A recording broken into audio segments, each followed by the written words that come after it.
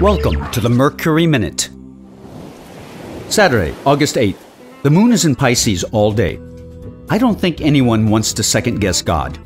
Creation or whatever is going on, it would be best to respect and not impose one's ignorance on life. Creation is the most creative. You are the second most creative. You resemble the mystery that is. You're doing much more than you know. You affect more than you can understand. Don't take life for granted, because the day arrives when it ends, which can be seen as a new beginning.